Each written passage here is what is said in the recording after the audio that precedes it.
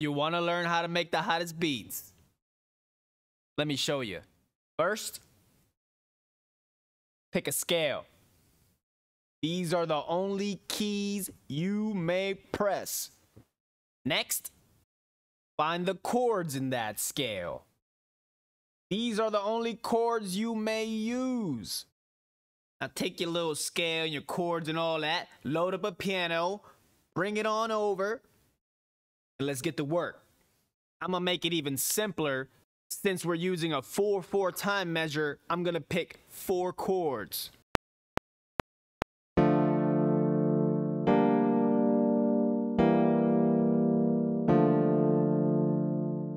I chose chords 1, 4, 2, and 1. So that makes it a 1, 4, 2, 1 chord progression. Simple. Here are the four chords. D minor, minor, E diminished, back to D minor. Next, load up another sound and press only the keys in the D minor scale.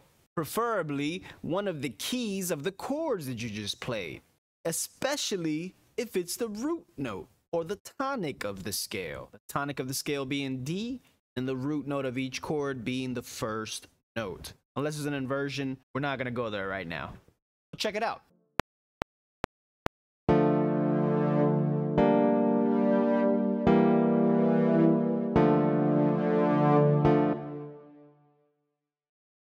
I tripled up each note that I played. Here's the D, the G, the E, back to the D. I also EQ'd it. I'm gonna add a clap and I'm gonna make the bass.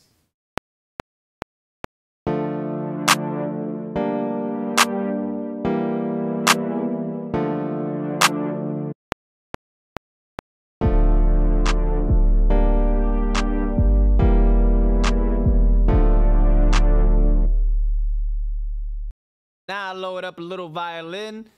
Let's make a melody. Only hitting the notes in the D minor scale.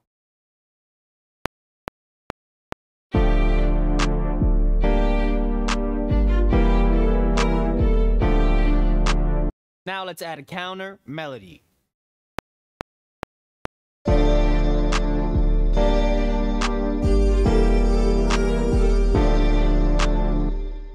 Now let's start working on some drums. Let's do a hat first. I'll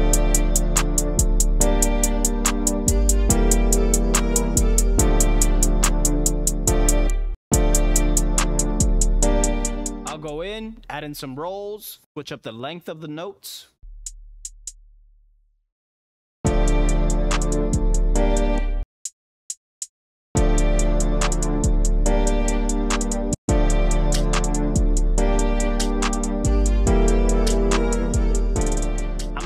The kick so simple for you. I want you to grab a copy of the bass, slide it down to the kick, go in there, then bring them all down to your root note, just like that. Now play back your song and go in there and add what I like to call ghost kicks.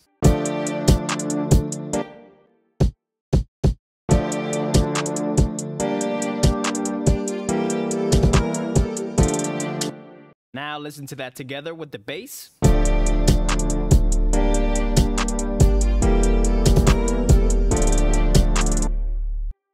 Simple. You can make a variation out of that now.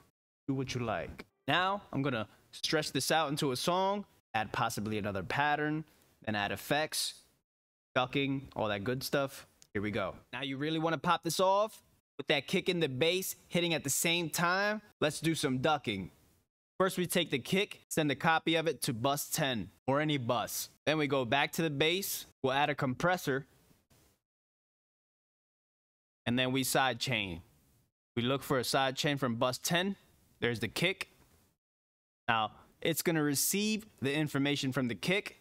Every time that the kick hits, I want the bass to duck.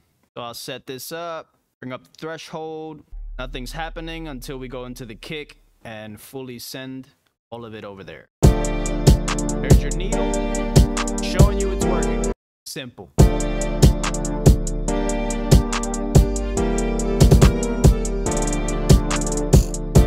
If you don't take anything away from this video, take away that tip and the tip in the beginning about choosing your scale and staying on the notes. With those two tips, you'll go far.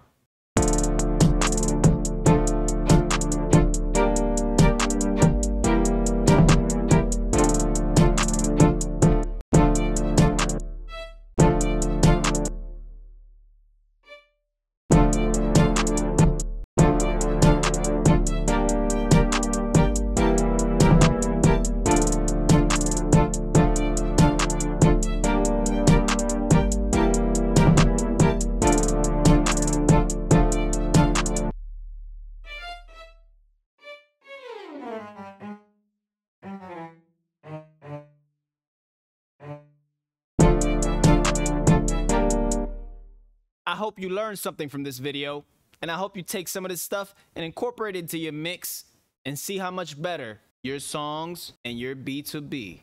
Listen to this.